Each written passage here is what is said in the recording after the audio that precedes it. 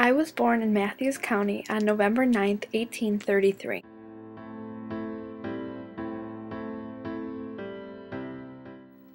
As a young girl, I was active in restoring the church and tending to the sick.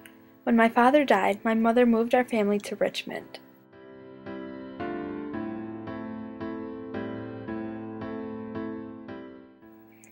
Later on, when the war broke out, I was only 28 years old. When all of the sick and wounded soldiers started to arrive in Richmond after the Battle of Bull Run, I opened a hospital at the home of Judge John Robertson. At this time, President Jefferson Davis made a law stating that the military hospitals must be under military command. Since the hospital did such a wonderful job, President Davis commissioned me as an officer of the Confederate Army.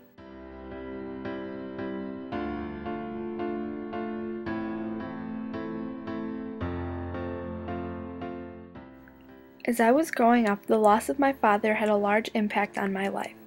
When my family moved to Richmond, we started to find hope. Ever since I was a young girl, I've always been very involved with the Episcopalian Church and taking care of the sick. Once the war broke out, I knew what I had to do.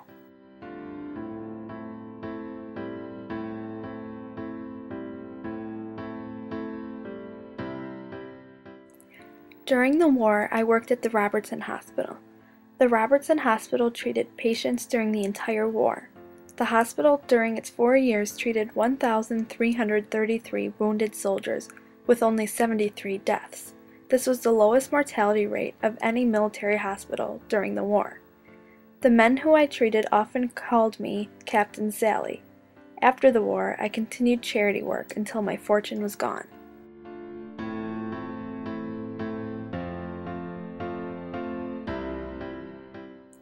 Before the war, I grew up in a large house with my family and a few slaves, one of which helped raise me as a young girl after my father died.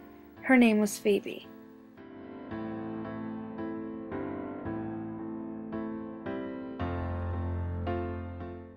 I started the hospital in Richmond to help anyone in need, free or not.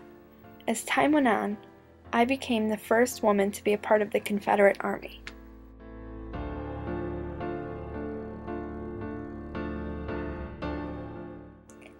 After the war, my thoughts didn't much change because I was not extremely passionate about either side in the conflict.